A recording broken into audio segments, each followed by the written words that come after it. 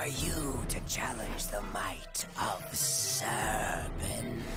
I'm a deputized agent of the plumbers. You're breaking your parole. And you think you possess the power to stop me?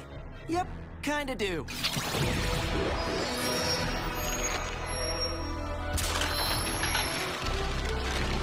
Four Arms! Oh, didn't even know that was still in there. You will be my evening snack. Nope. Strike two.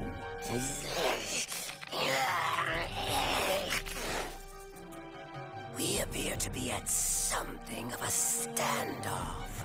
I don't really see it that way. I'd like to go home now, please.